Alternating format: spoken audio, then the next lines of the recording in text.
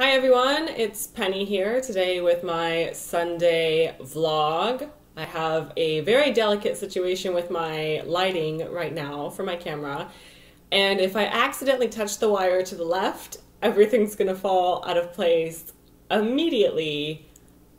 But I was being stubborn and I wanted to sit in this specific spot, which makes it more difficult for me to find a way to plug my lamp in. Um, long story, and you probably don't care too much. Um, another thing, first things first, if you watched my vlog last Sunday, you know that I got a little bit of a black eye from sword fighting, and it's not completely covered with makeup right now, so you can still kind of see. So if you're wondering what the heck is wrong with my eye, that is what happened to it. And I know if I were watching this video and someone had like some pinkness around their eye, I'd be like, whoa, wait a minute. And I'd be completely distracted from everything else in the video until I managed to uncover the pinkness of the eye. Um, but maybe I'm more investigative than most people. Someone tonight at a bar actually asked me if I was a private investigator and I I laughed at them. Granted, I was I was telling a weird story about a thong that was in my pocket and me trying to figure out why there was a thong in my pocket, and I was joking, saying that I was investigating it, and this guy apparently didn't get the joke. Um, but the other two people I was talking to did, so it's not my fault. I would say that one's on him.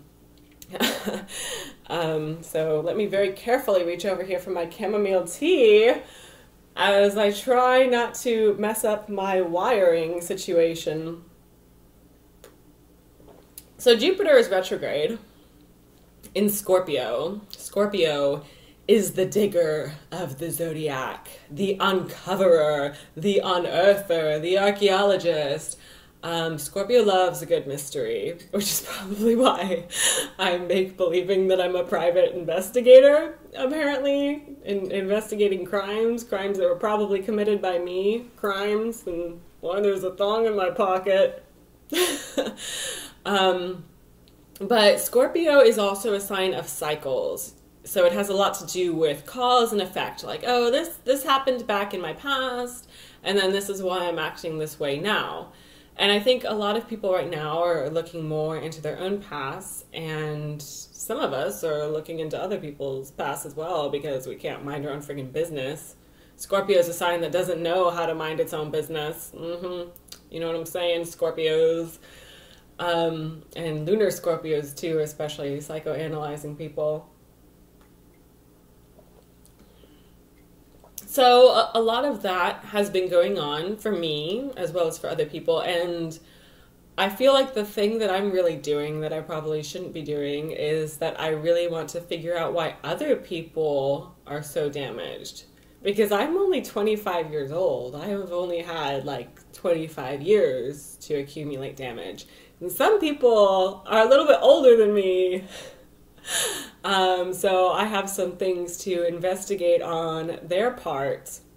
Private investigator right here. Mm-hmm. Astrologer slash private investigator. Bet you didn't know Penny was a PI. This is a joke. I hope no one actually takes this seriously. Like, oh my gosh, Penny, I need to hire you to investigate a crime. Is there a certification to become a PI? Because if there's not, then I might as well do it. But if there's a certification exam, we're going to have to have a little talk about certification exams, okay? Because there are very few things in life that I am certified to do. CPR is one of them, but uh, that one's actually not too difficult to get. Uh, every, everyone has one of those. This is good tea. I made it with um, that protein blend of like nut and pea milk. If you read the ingredients, it has peas in it, like the green pea vegetable. That's the kind of pea I mean, just to clarify. And it's uh, it's a higher protein blend, I guess, than your typical nut milk. And I also put honey in it, and it's chamomile tea.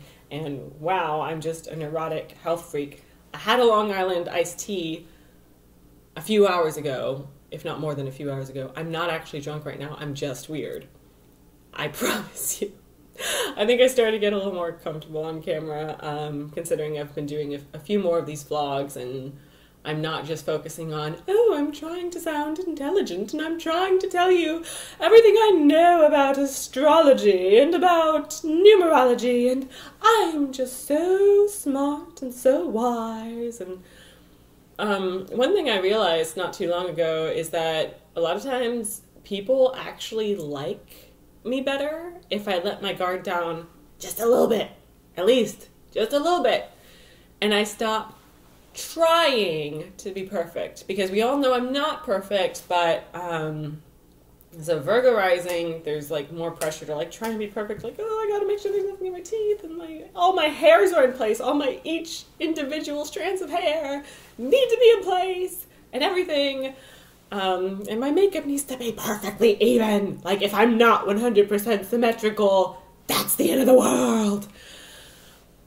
So there's that and then also being a leo i'm very proud and i don't want to like show anyone my weaknesses or show anyone when i fail or whatever unless it's dramatic and i can be dramatic about it and completely ridiculous and maybe even make fun of myself a little bit and just have other people point and laugh at me because that's always fun i just love humiliating and embarrassing myself which is part of the reason why i didn't delete the videos i uploaded when i was like 13 they're on there and some of you might have seen them. And yes, they are embarrassing, but that's also why I keep them to embarrass myself and remind myself of where I come from.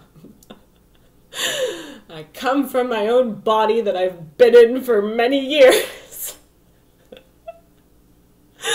well, that's technically not true. I came from someone else's body, but someone came from my body too. It's like it's like those eggs that there's another egg and another egg and another egg. That's just so true about life. There's always another egg deeper in there.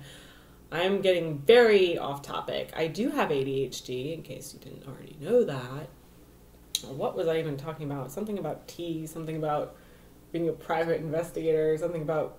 Oh, and I'm a lunar Capricorn, as you hopefully know by now, and lunar Capricorns just have too much control over their emotions and they also don't like to be vulnerable. So, I don't know, like, what I really want to say right now because I feel like this week has been dramatic for a lot of people. Um, that whole Saturn conjunct Mars and Capricorn, and then the moon joining up with that, and then it being square some of our planets that are in Aries right now. I feel like a lot of, for a lot of people, that just like sprung something on them like, oh, this is urgent. You need to take care of this now. Saturn has been building up this problem for you, and now all of a sudden it becomes an emergency because Aries thinks everything is an emergency. Um, and for me that's actually that i almost lost my vehicle and i had to go and get that taken care of. And i didn't sleep for like two days because it was like that urgent and i had that much stuff to do in regards to trying to keep my vehicle. And then i also had to stop for some other things as well along the way. And there was a thong in my pocket so i had to why is there a thong in my pocket no i'm just kidding um,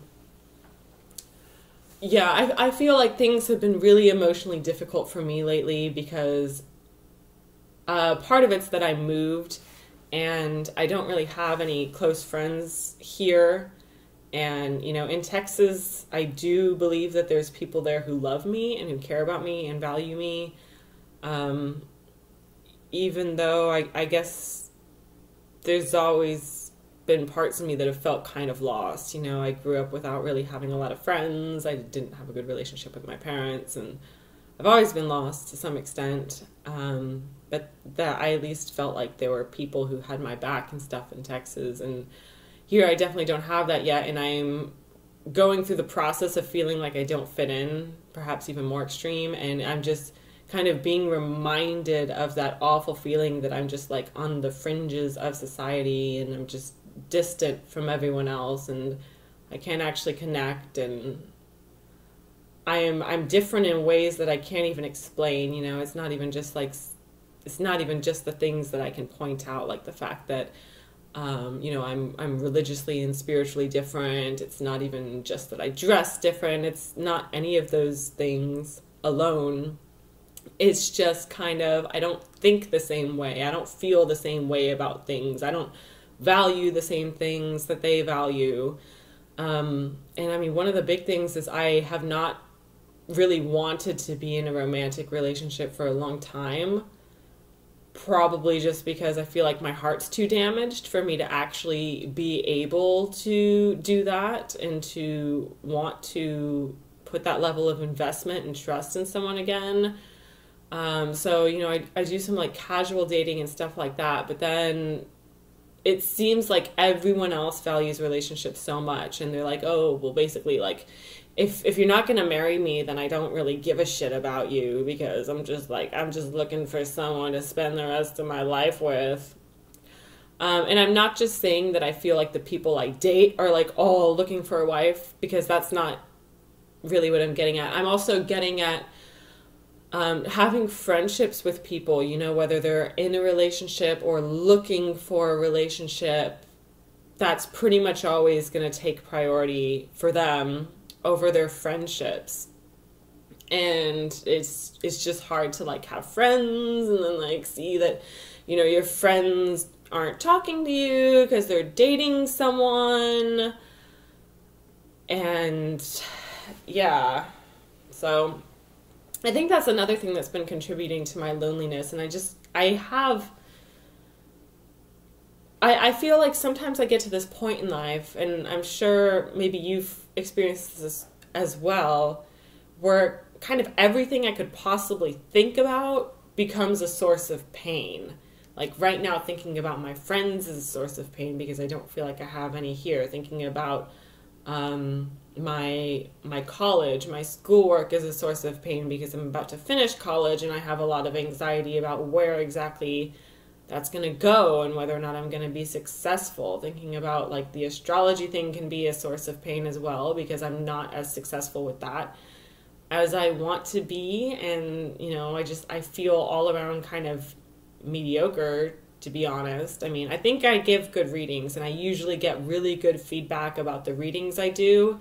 Um, but in terms of being on YouTube, I know I'm just not the most entertaining and I don't have like the most clickbaity content. And, um, you know, other people just seem like they've kind of breezed through it. And for me, it's, it's always been hard work and I'm just always trying to figure out what I'm doing wrong. And then there's the audition last week, which has become a very intense source of pain because I didn't get the part. Um, and I don't really know why I didn't get the part and what I could have done better just yet. Um, and thinking about martial arts right now is a source of pain because I would really like to be doing it, but I was trying to get other things in my life in order and trying to make sure my finances are taken care of before I start paying for a subscription again. And thinking about my daughter is a source of pain right now because I feel bad for her a lot of times. I just feel like I'm not enough for her. She deserves better.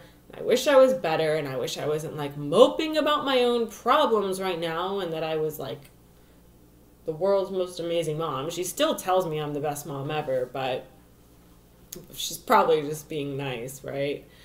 Um, and then, of course, thinking about my my past relationships is a source of pain thinking about my family is a source of pain.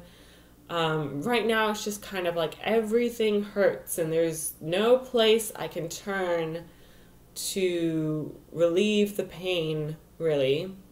And i mean I, I will say like getting getting immersed in stuff and like doing readings for other people i would say that's something that actually relieves my pain for me. You know it takes me out of my own life and puts me in a position where I'm thinking about someone else. Um, but I just I wish I had more. And another thing is I I'm a very hardworking person. Like anyone who knows me in person will talk about how hard Penny works and like all the the crazy amount of effort they've seen me put into things. Um, and I tend to really care about what I'm doing. But I don't have a lot to show for it.